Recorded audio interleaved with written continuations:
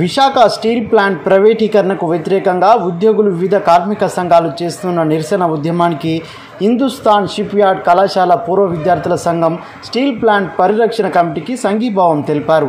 ఈ మేరకు Kurmannapalem steel plant arch వద్ద ఉన్న బహిరంగ సభలో ప్రముఖ ಇಎನ್ಟಿ ಸ್ಪೆಷಲಿಸ್ಟ್ ಶಿಪ್ ಯಾರ್ಡ್ ಪೂರ್ವ ವಿದ್ಯಾರ್ಥಿಗಳ ಸಂಘ chairman doctor S K E Apparao ಪ್ರಧಾನ ಕಾರ್ಯದರ್ಶಿ ಕರ್ಣಂ ಅಪ್ಪಲರಾಜು ಸಂಘ vice chairman doctor G T V Ramesh convener lieutenant commander C H Chiranjeevi national award గ్రహీత యువి రావులు మాట్లాడారు. విశాఖ ఉక్కు ఆంధ్రుల హక్కు అని నినదిస్తూ విశాఖ ఉక్కు పరిశ్రమ నిర్మాణానికి భూములు ఇచ్చిన రైతు కుటుంబాలకు తీవ్ర నష్టం జరిగిందని ఆవేదన వ్యక్తం చేశారు.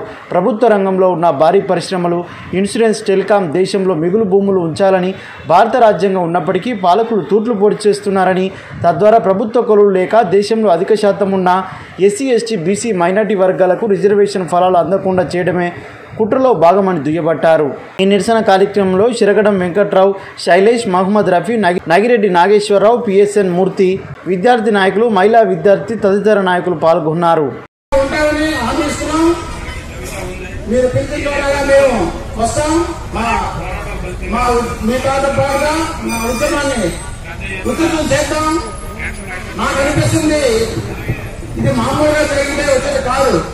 ఒక పక్క నుంచి ఆల్రెడీ అన్ని కూడా అధికార మార్పులు జరిగిపోతున్నాయి.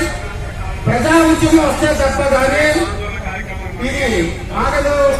అందువల్ల నా కోరికంటే దీన్ని ఇంకా ఈ ఉద్యమ ఉద్యమాన్ని విస్తృతపరిచి మరింత ఎవరన్నా ముందుకు వచ్చినట్టయితే వారిని అధికార మార్పులు జరగకుండా అడ్డుకోవాలి అని మా సంఘం తరపున మీ అందరికీ హామీ ఇస్తున్నాం.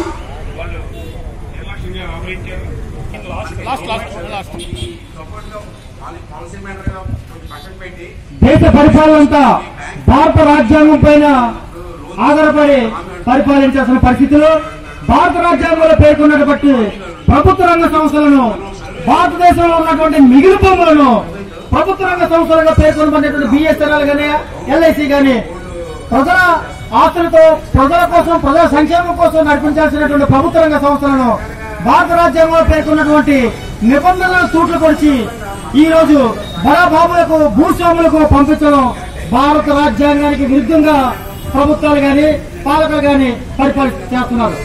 ఇటువంటి రాజ్యాంగాన్ని విరుద్ధంగా చేస్తున్నటువంటి పరిస్థితిని మనందరం ప్రశ్నించాల్సిన అవసరం ఉంది.